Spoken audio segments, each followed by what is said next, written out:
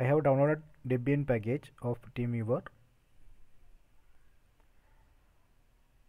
The size of this Debian package is around 45 MB. So let me try to install this Debian package using command sudo dpkg minus i.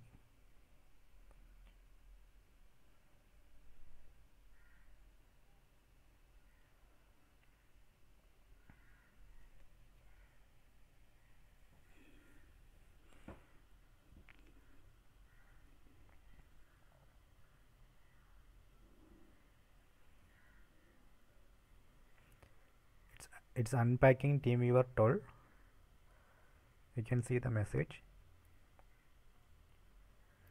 So here I am getting dpkg error error processing package TeamViewer dependency problems leaving unconfigured.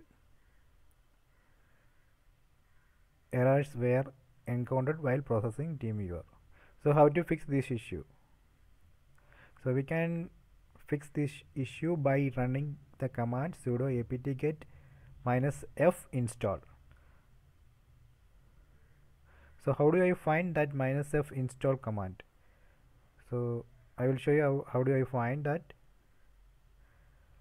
So just run sudo apt-get install TeamViewer that time it will show the message like this. So in that message you can see the command try apt-get minus f install. So let's get let's run that sudo apt-get minus f install. So that will fix that dependency issue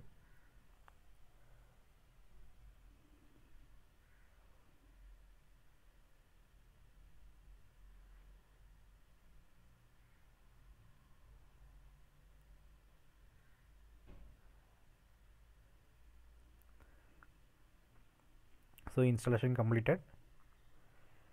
Now let me try to open TeamViewer you can see TeamViewer 12 icon here.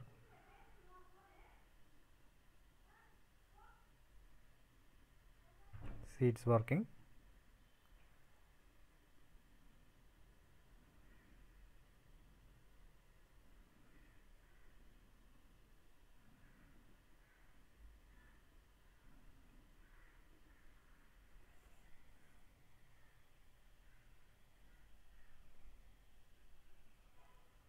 you can see the version 12.0